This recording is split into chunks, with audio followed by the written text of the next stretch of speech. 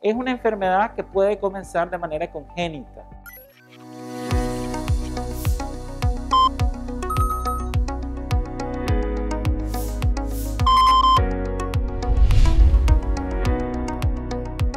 el conducto que va atravesando entre el, abdomen y la, ingle permanece abierto eh, de manera anormal, entonces hay un descenso de cierto órgano.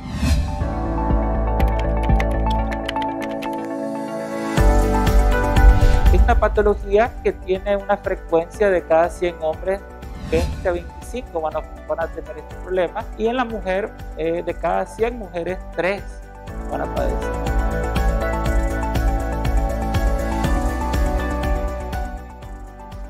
Los pacientes generalmente llegan porque eh, hay eh, dolor, hay un bulto que ellos sienten, una molestia cuando caminan. Por experiencia podemos nosotros eh, examinarlo y saber se trata o no de una hernia que hay que operar.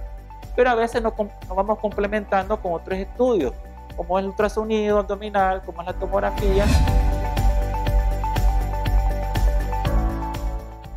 La indirecta es la que viene del nacimiento generalmente es común esta hernia más en el varón y eh, más en la edad adolescente o incluso eh, pediátrica.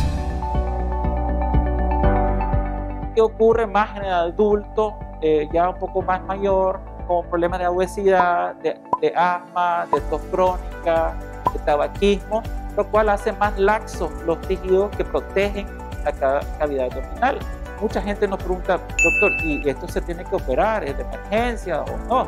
Porque como toda cirugía tiene su riesgo.